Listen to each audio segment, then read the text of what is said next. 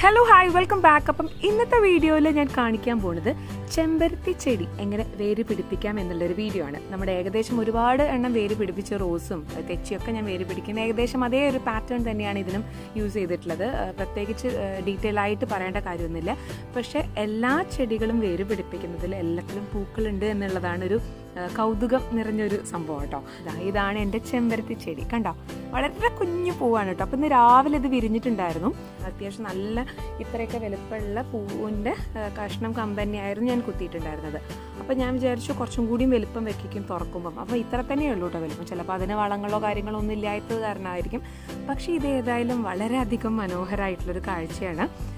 നിങ്ങൾക്ക് എന്നെ കണ്ടാൽ മനസ്സിലാവുമല്ലോ. അതിൽ പൂവും വന്നിട്ട് ഇത്ര ചെറിയ ഞാൻ ലൈഫിൽ എന്റെ ലൈഫിൽ ആദ്യമായിട്ടാണ് ഇത്ര ചെറിയ കമ്പിൽ പൂ പൂവ് കണ്ടിട്ടുള്ളത്. നമ്മൾ ചെമ്പരത്തി ചെടി മേടിക്കുമ്പോൾ ഈ ഹൈബ്രിഡൊക്കെ മേടിക്കാൻ പോകുമ്പോൾ നമ്മൾ അത്യാവശ്യം വലിയ ചെടിയിൽ പൂക്കളുള്ളതാണ് നമ്മൾ കാണാറ്.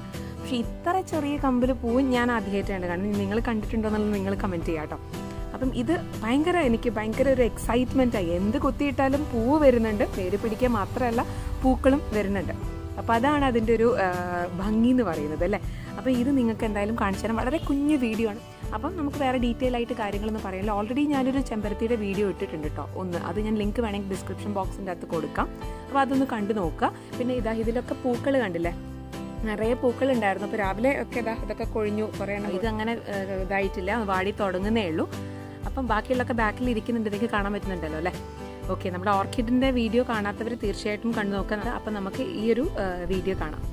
ആദ്യം തന്നെ ചെടിയുടെ കമ്പ് സെലക്ട് ചെയ്യുന്നതാണ്. തളിരല്ലാത്ത സെമി വുഡി ആയിട്ടുള്ള സ്റ്റെം നോക്കി സെലക്ട് ചെയ്യുക. അതിന്റെ അകത്ത് ഇലകളൊക്കെ നുള്ളി മാറ്റിയതിന് ശേഷം ഒരു കവറോ കുഞ്ഞു പോട്ടോ എടുത്തിട്ട് അതിന്റെ അകത്തേക്ക് നമ്മൾ മണലാണ് കേട്ടോ ഫിൽ ചെയ്യുന്നത്. നിങ്ങൾക്ക് മണലില്ലെങ്കിൽ സാധാരണ ഗാർഡൻ സോയിൽ അല്ലെങ്കിൽ മുറ്റത്തെ മണ്ണൊക്കെ യൂസ് ചെയ്യാം. വേറെ വളങ്ങളൊന്നും ചേർക്കേണ്ട. ടാപ്പ് ചെയ്ത് കൊടുക്കുക. ഒരു ഹോൾ ഉണ്ടാക്കി കൊടുത്തതിന് ശേഷം നമ്മൾ കട്ട് ചെയ്ത് വെച്ച ഈ ഒരു കമ്പ് അതിന്റെ അകത്തേക്ക് ഇറക്കി കൊടുത്തിട്ട് രണ്ട് പേരിൽ വെച്ചിട്ട് നന്നായിട്ട് അതിനെ ഫിക്സ് ചെയ്യുക. രണ്ട് നേരം ദിവസത്തിൽ രണ്ട് നേരം രണ്ടാഴ്ച കൃത്യമായിട്ട് നന കൊടുക്കുക.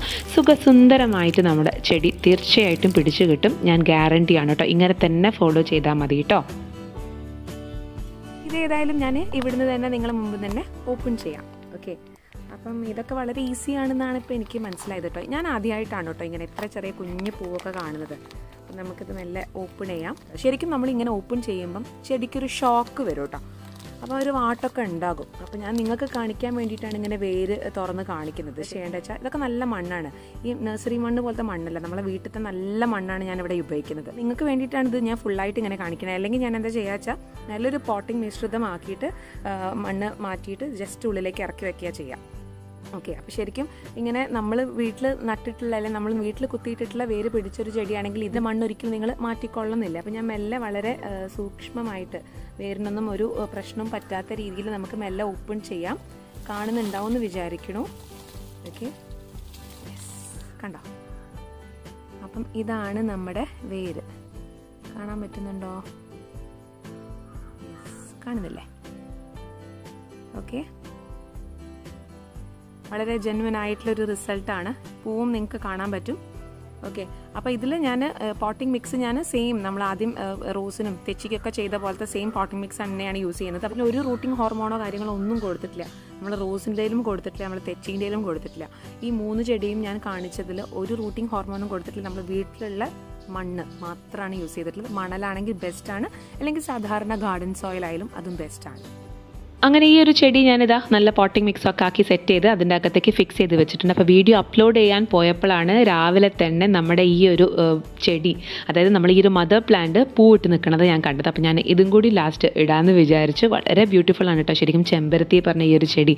ഇഷ്ടം പോലെ വെറൈറ്റി ഓഫ് കളേഴ്സിൽ നമുക്ക് അവൈലബിൾ ആണ്. ശരിക്കും ഇത് മാത്രം മതി നമ്മുടെ ഗാർഡൻ സെറ്റ് ചെയ്യാൻ കണ്ടോ? ഒരു യെല്ലോ ഷെയ്ഡും കൂടി അതിന്റെ അകത്ത് വരുന്നുണ്ട്. നിങ്ങൾക്ക് എന്റെ ഒരു വീഡിയോ ഇഷ്ടപ്പെടുകയാണെങ്കിൽ തീർച്ചയായിട്ടും ലൈക്ക് ചെയ്യാനും ഷെയർ ചെയ്യാനും സബ്സ്ക്രൈബ് ചെയ്യാനും മറക്കരുത്. അടുത്ത നല്ലൊരു വീഡിയോ ആയിട്ട് വരുന്നവരെ ബൈ ആൻഡ് ടേക്ക് കെയർ